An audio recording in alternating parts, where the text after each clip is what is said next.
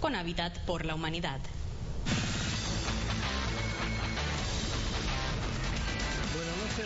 Con ustedes Andrés edición nocturna, para presentarles lo mejor de nuestra acción deportiva extra local de Atlanta. Mañana en Gainesville, dos leyendas con ascendencia hispana en el fútbol americano estarán impartiendo una clínica para 300 niños totalmente gratis. Tony González y Anthony Guerrero, eh, Anthony Muñoz, perdón, este último inmolado en el Salón de la Fama de este deporte, se harán presentes desde las 9 de la mañana. Vamos a enseñarles cómo jugar fútbol americano y decirles que sí puedan jugar fútbol americano. Aquí está un, ejemplo que alguno que es latino que jugó, ah, yo empecé a la edad de 14 como tu hijo y ah, jugué hasta 35. Sí, y yo también jugué con ah, Max Montoya, otro hispánico de California. So, quiero decirles que sí puedan, si quieran.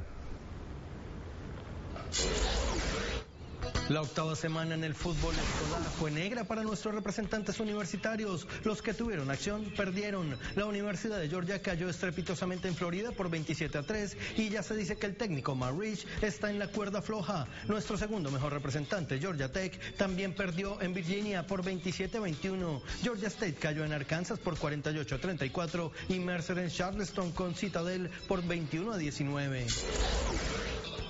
A dos hechos para terminar la temporada regular en el fútbol mexicano, Pumas es el único clasificado de la liguilla tras ganar en Tijuana por 2 a 1. Y los que ya están eliminados son Dorados que perdió con Morelia 4 a 0, Tijuana y Santos que empataron a 2 con Tigres y Cruz Azul depende de un milagro para poder eh, asistir a la siguiente ronda empatando a 1 con Veracruz. Los que dependen de tercero son Chivas que empató a 4 con Pachuca, Morelia y Querétaro que empató y Jaguares. Y los que dependen de sí mismos son Monterrey, que perdió con Querétaro 3 a 1, Veracruz, Puebla, que perdió con Jaguares por 1 a 0, Tigres y León, que está casi eliminado, eliminó a Atlas eh, ganándole 2 a 1, y América, que en un partidazo le ganó a Toluca 3 a 2, segundo y tercero respectivamente. Y esta tarde, México continúa su camino a la obtención del tercer título mundial sub-17, después de que venció a Ecuador por marcador de 2 a 0 en los cuartos de final, y ahora enfrentará a